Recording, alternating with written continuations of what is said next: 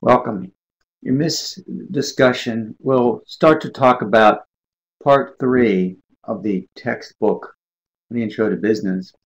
And we're talking here about sort of the nuts and bolts of actually running a business, of moving the business forward, doing the things, the day to day activities that you need in order to maintain customer satisfaction and, and have product quality, uh, continue to make money, and, and, um, and grow your business. So it's all those parts, the different pieces. Um, this first uh, lecture of this particular chapter, um, and there'll be uh, five parts. But the first one, we'll just go give an overview of what we mean by operations and what we're talking about whenever we say we're going to be uh, running a business or I'm in I'm, my job is in the operating operations part of the business. We'll talk about managing a service business, a manufacturing business. We'll get into some uh, in some of the later discussions, some quality control, some process management, and those sorts of things. But in this very first one, what we'll do is we'll talk about what we mean by operations. When we talk, when someone says my business or my management, I'm an, I'm operating manager operations. Um, one way to do this is to visualize driving into a fast food restaurant like a Taco Bell and one of the things that you do if you're going to a Taco Bell, you might decide you want to go through the drive-through. And if you think about it, what organizations are trying to accomplish in that situation is a very fast and efficient way of getting people the the order that they want, the products that they want, the service, you know, whatever it is that they're getting, get it to them efficiently with high quality, so people are happy. Um, there's very high cost to making mistakes because people drive home, they don't get what they want, they complain, whatever. Um, and also, you could have quite a long line. One of the reasons people do drive-through is they want a lot of time. So you want to build the operating process. So no matter who's running the drive-through, no matter who's putting the food together, uh, you might have a shift change or whatever. Um, the process of of greeting the customer, taking the order, filling the order, taking the money, giving back the money, and then giving the delivering the goods and services happens very quickly. And that's what the operations process is all about, the actual business, if you will, running the business. Um, and you can see that there's some things to think about. And in this particular case, the Taco Bell, when they put this kind of process in place, um, they managed an average service of uh, 164 seconds, which is really quite amazing when you really think about it.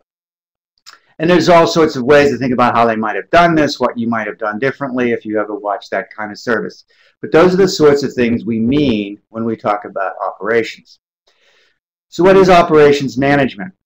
It has been called manufacturing or it's been called production. Uh, it has very different roles or different names. Um, but with the increase in service in terms of like service in a restaurant, service in a retail outlet, um, any sorts of service in terms of like uh, law and law or financial services, whatever. We tend to call it operations, which is which is greeting the customer, meeting the customer's expectations, delivering the product or service, and then after after sale uh, service and interaction to make sure that that customer's experience continues to be good. Those are the sorts of things that we're talking about when we're talking about now operations. It could mean you're making something, it could mean you're delivering something, could mean you're producing or developing something, but by and large, it's the day-to-day business activities that deliver the, the value that customers are looking for. Um, three things to be thinking about. There'll be a lot of terms in this discussion to keep in mind.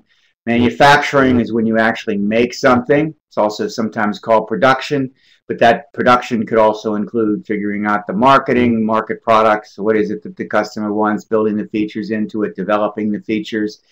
And then activities and processes of operations, like we said, include manufacturing, include production, but they also include operating the back office, making sure that service is cared for, quality control, all of those things are what we refer to when we talk about operations.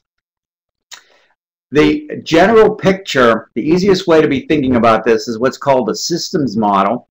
And the systems model just says that you are looking at something, uh, an organization, um, at that level of an organization, you sort of like for a moment, you step back and don't think about the individual person you're dealing with behind the counter in a Taco Bell, but rather you think about the Taco Bell as a service operation or an organization, and a system, if you will, that provides this service.